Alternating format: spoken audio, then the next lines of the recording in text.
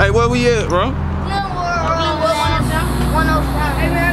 yeah, what y'all know about Dope Ink, man? Huh? What y'all know about Dope Ink? No ink. They did fine. They just fine.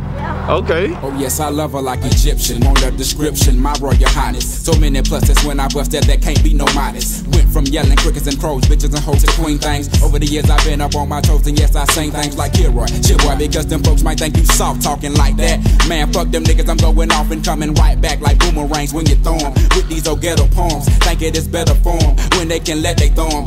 From hitchhiking, and inviting niggas into the temple they call the body. Now everybody got it, had it, talked about it amongst their friends. Coming around my crew, looking jazzy, wanna pretend like you Miss good Goody. Faux shoes, even Bo knew that you got poked. Like acupuncture patients while our nation is a broke, straight sinking. I hate thinking that these the future mamas up by chillin'. They fucking a different nigga every time they get the feeling too.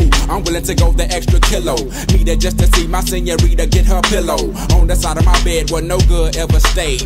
House and doctor was the games we used to play, but now it's real Jazzy Belle.